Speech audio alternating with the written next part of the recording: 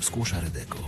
www.redeko.pl Promotor Masternaka powinien obecnie na niego chuchać i dmuchać. Jeżeli chce jeszcze sukcesu boksera, powinien mu umożliwić złapanie automatyzmu w ringu. Nieważne z kim związany z Wrocławiem zawodnik miałby walczyć, i tak będzie mu niezwykle ciężko. Były zawodowy mistrz Europy wagi junior ciężkiej skrzyżuje rękawice z dobrze znanym polskim kibicom Sandro Siproszwili.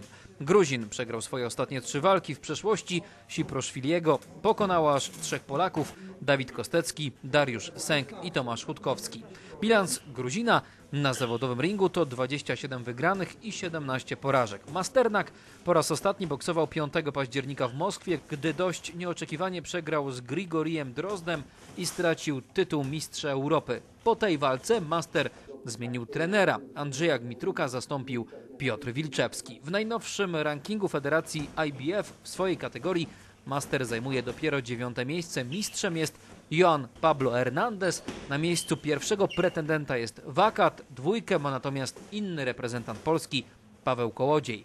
Walka Masternak-Siproszwili odbędzie się 1 lutego w duńskim Frederikshafen.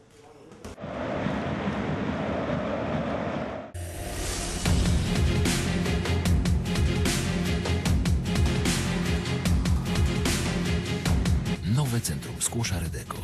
www.redeko.pl